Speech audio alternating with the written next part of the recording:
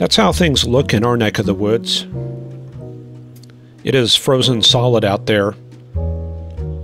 Temperature's coming up near freezing though, so we're getting a tiny bit of melt off the roofs here and there, and also in the trees. Anyway, we're doing fine here. Our power has stayed up, but we're getting intermittent flickering, like something's going on upstream in the lines. And our water has been out for about 36 hours. There was a major failure at the uh, city water pump, but uh, they're starting to pump some dirty water back up through the lines. And it's not drinkable, but it's useful for flushing toilets. And yes, this is municipal water.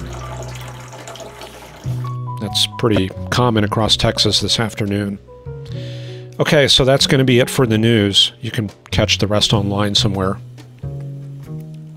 Let's see what's happening around the country. The map is showing that we are getting rid of this polar air. Temperatures are actually a little bit mild up north. Well, I mean, it's still cold, but that's definitely an improvement. And down in Texas, 20s and some 30s. So we're seeing significant modification of the air mass, and that means temperatures will gradually come up over the next few days. The problem is that we've still got extensive snow cover. It's kind of hard to see it beneath all this cloud cover, but it is there, and that's going to continue to generate polar air for the next uh, couple days. So the two effects are going to cancel each other out. And we have a third wave working across Texas this afternoon, and that's brought snows once again to the San Antonio area. You can see it there on the radar composite, and that's going to be dumping about anywhere from one to three inches down there. And you can see that's kind of heading towards the woodlands, maybe North Houston, and perhaps College Station. There's the surface plots. San Antonio, one mile in snow, one to two miles in snow out in Hondo in the hill country, and that precip has not quite advanced out east just yet.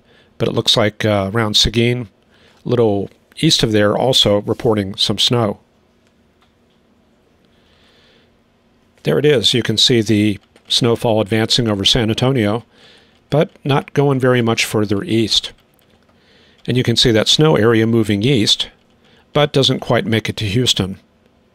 So what's happening there? Let's take a look at the soundings. Well, there is some dry air, but not a whole lot of it. So I would be inclined to think that maybe upper level lift is a problem. I can see through the elevated layer and in the dendritic growth zone. Looks like it's indicating downward motion. So maybe the dynamics are outrunning the surface features. Well, taking a look at the heights and vorticity chart, it looks like there is some lift in the left exit of a Jetmax. And that Jetmax located right there over northern Mexico. And if we run that forward, yeah, it looks like by midday, a lot of the lift located right there in East Texas, and then moving forward. I'm not even sure we have any lift. The whole thing looks awfully channeled, although there is this little lobe coming through the base of that trough. So maybe not quite over. Still indicating some lift there along the coast just after dark, and then that will be advancing eastward into Louisiana, Mississippi, and eventually into Georgia midday tomorrow. And look at that ridging coming in.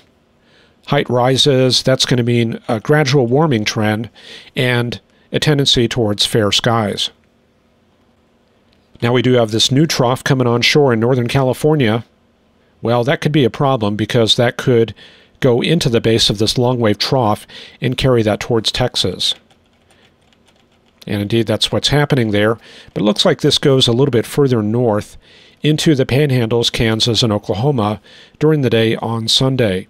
And by that time, we should have enough warm air advection to not have to worry about any wintry weather.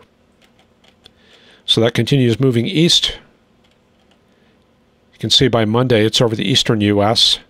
And then we get into another fair period. There's the next trough, and that'll be mostly a feature for the Midwest region later in the week. And then for the southern U.S., on Wednesday, we have to worry about that thing. That one's headed for Texas, and that looks uh, a little bit strong there. Quite often this time of year, that can be associated with thunderstorms if we have sufficient tropical moisture. However, dry conditions in the low levels indicating northerly flow, so that means that lift is going to be working on a dry air mass and not do very much. So, and it looks like the best opportunities would be on Wednesday, the 24th, as we get that initial moisture surge, and by then, looks like the next cold front has come through. And the GFS not really signaling any widespread thunderstorms on Wednesday. So at this point, it looks like maybe it's a little bit too dry and not enough lift. You can see that lift coming in there a little bit late. And looks like it pops out on the other side on Friday. So, yeah, maybe some thunderstorms for the southeast U.S. Okay, let's consider our air mass structure here. Modifying polar air across the central U.S. Also some polar air in the eastern U.S. with some dammed cold air in the Carolinas, and this old occlusion in West Virginia. And then out in Georgia and off the coast of Virginia, a couple of waves moving up the polar front and the western edge of that Arctic air right there along the Sangre de Cristos and the Front Range. You can see the difference in the air mass. 26 degrees there at Tucumcari, cloudy skies and north wind, and you go over to Gallup at a much higher elevation, sunny and 30 with fair skies. And pretty similar conditions across Utah, Idaho, and Nevada. Then taking a quick look up in Canada, This is not a scenario that we associate with polar outbreaks. This indicates a very progressive flow, some troughs moving off the Rockies, cool conditions, and most of the Arctic air generation locked up way up there in the high Arctic. Temperatures are certainly cold in that region, but there's nothing here that would indicate any of that air coming south.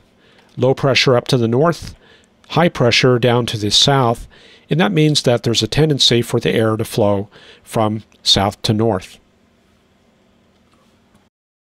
If food don't kill you, the service will. Well, one thing that we know from horror movies is to never turn your back on the villain, and that probably means we should check up on that polar vortex. Currently, it is centered up there in northern Baffin Island, where we typically find it, another piece of it up there in Siberia. And let's run forward and see what happens. Looks like a very progressive flow across the U.S. and southern Canada. The polar vortex kind of wanders out there towards the Beaufort Sea and eventually returns into the high Arctic, but it does not come south. A couple large waves moving through the U.S., so we will see active weather still, but it's not going to involve very much cold air. And towards the very end, little cutoff flow moving across the southwest U.S. Now, one way to assess the cold air is to look at the 850 millibar temperature anomaly. That's what it looks like now. And you can see those dark purple colors indicating 12 degrees below normal. This is up at 850 millibars, 5,000 feet. And this is typically what we see with the dissipation phase of a cold air mass. Now, what it looked like about two days ago was more like this. Bright white indicating 25 degrees below normal. But as we advance forward, you can see that modification taking place across the central U.S. So bringing that back to the current time, let's go and see what's happening over the next two weeks. There's the dissipation of that cold air gradually moves off towards the eastern U.S., and we get that warming trend in the central states. And we can see the effects of westerly flow and downslope conditions in southern Canada. And meanwhile, the Arctic air remains locked up in the Arctic. Some pretty good cold air up there in northwestern Russia. I don't know if that's going to make it to Europe. Actually, they've got progressive flow, so probably not. And then going forward, not much change. Some of that Arctic air works into the Saskatchewan area, Manitoba, Alberta, but does not come very far south. Towards the very end, we do get a shot of cold air coming into the Midwest. You can see that come together right there. The generation of cold air indicating probably snowpack across the northern U.S., and that does happen in early March. However, this is over 300 hours out, and that's way too early to call. So let's see what's in store over the next week or so. Starting out, cold air advection across Texas, southeastern U.S., but most of the upper level lift has moved east, and that's producing some snow in New York City and some mixed precip in New Jersey. Into tonight, not much change, a little mixed precip developing across the Washington, D.C. area and southern Pennsylvania. And you can see this wave coming together in Georgia. So things will remain unsettled in that part of the country. High pressure in Texas, so another cold night for this region here. We're expecting teens across much of North Texas and 20s further south. So that's going to keep things frozen in those hard hit areas. Another wave moving across the northern U.S., but looks like not much moisture is going to be associated with that. And we'll see a continued moderation of this cold polar high on Friday in Texas and some much needed sun. Those waves along the east coast gradually move offshore and carry the precip with them late on Friday, and then it's going to be pretty nice across much of the eastern U.S., although still cold.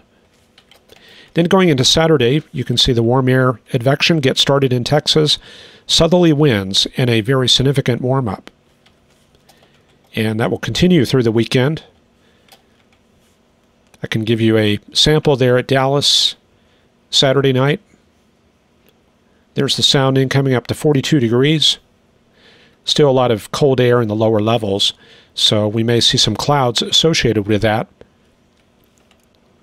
On the other hand, above the frontal layer, not much moisture. So I'm not too sure about that. Saturday may be sunny.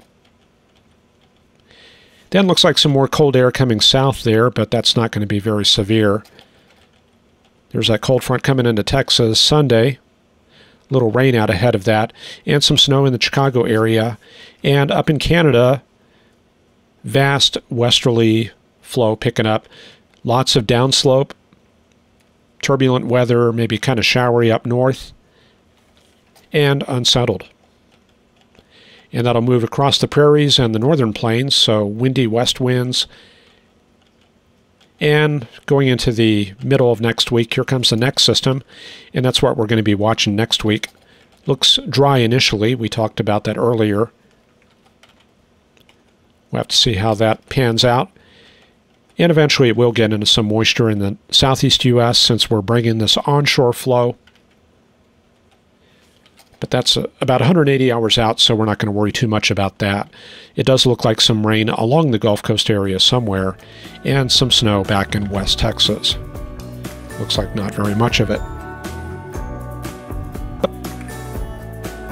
So that'll do it for this edition of Forecast Lab. I would also like to thank our new supporter, Herman Eschuis. Thank you very much for supporting the program. I'm going to leave you with some footage from July 2018. This was the day that North Texas got up to 110 degrees in many places. So that'll give you a little bit of a different reality for the next minute. So enjoy, and hopefully we'll see you all tomorrow. Take care. Bye bye.